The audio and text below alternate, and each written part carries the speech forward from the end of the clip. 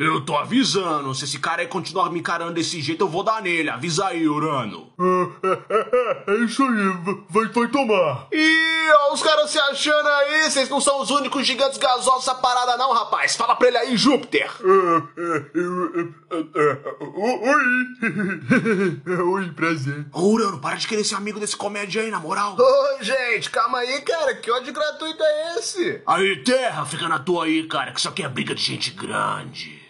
Ah, briga de gente grande. Meu irmão, tira suas nuvenzinhas, tu fica do tamanho da terra, me respeita. Que isso, mano? Meu irmão, meu nome é Netuno, cara, deus dos mares, é Poseidon na veia. Tu realmente acha que pode comigo, rapaz? Cala a boca, mano. Todo mundo aqui leva nome de Deus. Ó, o Júpiter ali, ó. Júpiter leva nome de Zeus. É verdade? Ai, que legal, não sabia disso. Caramba, mas nem pra tu me ajudar em Júpiter, pelo amor de Deus, cara. Ah, eu acho que eu tenho o nome de Deus também, né, Netuno? Esse cara deitado aí, maluco levanta aí pra falar com nós, rapá. Eu não sei o que vocês estão falando, vocês que estão aí em cima, desce aqui. A única semelhança que esse cara aí tem com Zeus é o raio que caiu na cabeça dele pra ser leado desse jeito. Hã?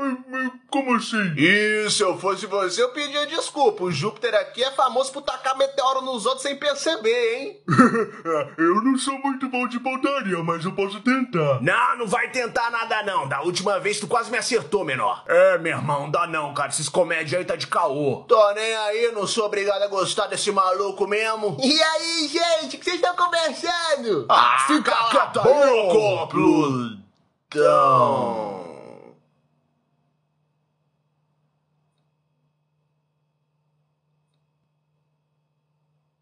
Caraca, vida de planeta não é foda, viu, meu irmão?